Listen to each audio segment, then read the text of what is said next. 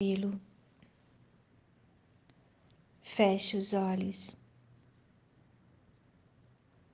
Mentalize sua casa, sua família e seus desejos.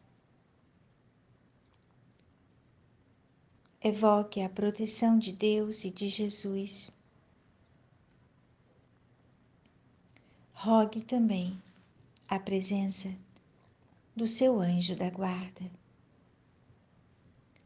Com calma e confiança, prepare-se para orar. Dê o primeiro passo. Toda longa caminhada começa pelo primeiro passo.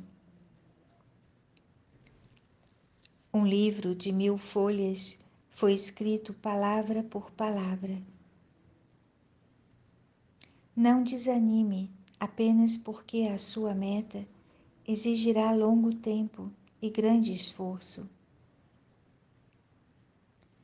Não fique contando as prováveis dificuldades que irá encontrar, porque é possível que você desista antes mesmo de começar.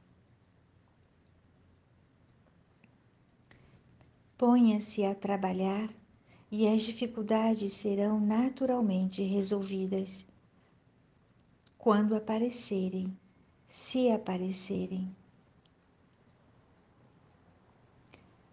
Jamais esqueça que, dando o primeiro passo, você se sentirá animado a dar logo o segundo, e assim sucessivamente, até a conquista das suas aspirações. Não se preocupe em se sentir ainda despreparado para atingir objetivos que você tanto acalenta.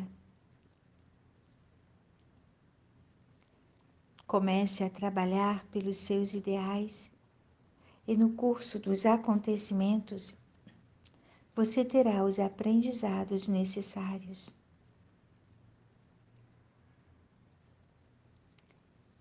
Então, comece a caminhar, dê o primeiro passo e seja feliz.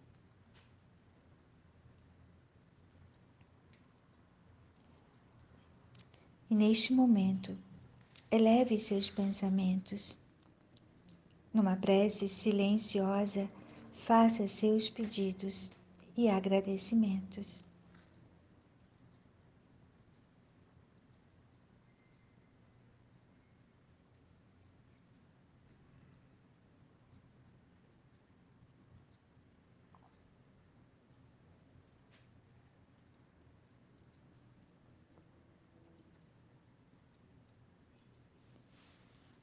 Com a certeza de que só o amor constrói, façamos a nossa caminhada. Que assim seja, graças a Deus. Amém.